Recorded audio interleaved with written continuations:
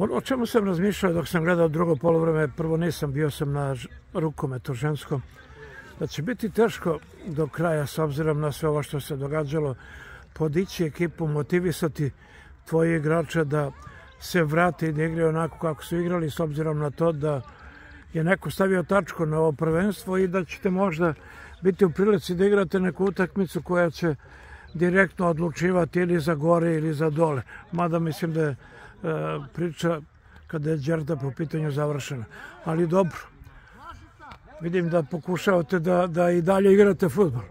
Pa dobro, mi prvo po vreme smo ušli u meč e, motivisano, igrali smo protiv ekipe koja igra, koja se grčevito bori za opstanak, odigrali smo na vreme postigli golove, posle utakmicu priveli mirno kraju, jer imamo sledeće nelje utakmicu protiv e, Bora na njihovom terenu. Idemo tamo da se nadigravamo i po tri boda ako, ako, ako možemo da donesemo tamo. Upravo tako. E, u svakoj utakmici vidim da poneko nedostaje.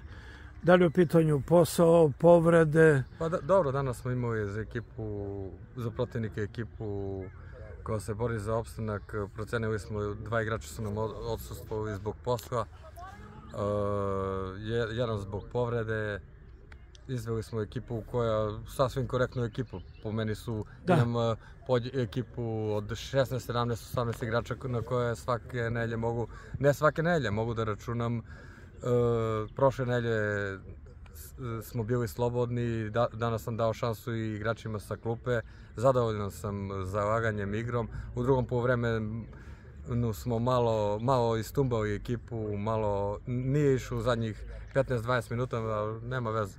Da. E, idemo, idemo dalje. Još jedan detalj koji moram da istaknem s obzirom da gledamo šarenolike rezultate, da Tanas Korajić u svaku utakmicu ulazi da pa odigra da, časno. Ja sam to i rekao, mi idemo svaku utakmicu da se nadigramo, nebitno ili na domaćem ili na gostujućem terenu, idemo sa svima da se nadigravamo, borimo se i garamo samo naše dvorište.